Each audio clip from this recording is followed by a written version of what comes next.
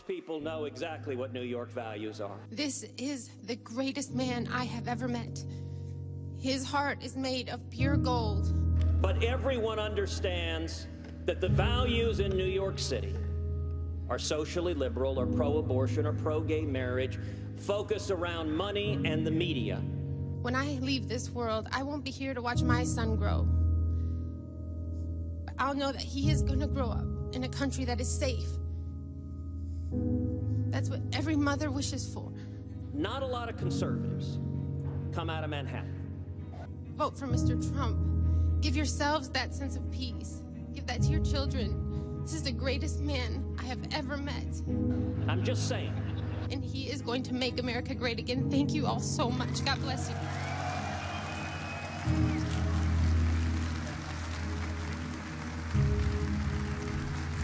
I saw something that no place on earth could have handled more beautifully, more humanely than New York. This morning, uh, you were for uh, a horrific surprise. And we saw more death and even the smell of death. Nobody understood it. And it was with us for months the smell, the air. And we rebuilt downtown Manhattan. And to tell you, that was a very insulting statement that Ted made.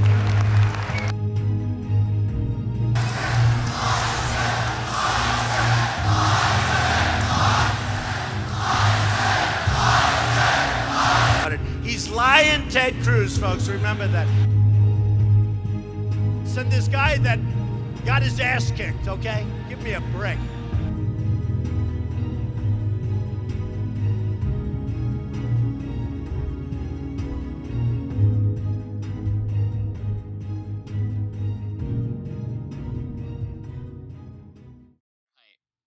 Okay, you're right. I'm four foot three. Uh,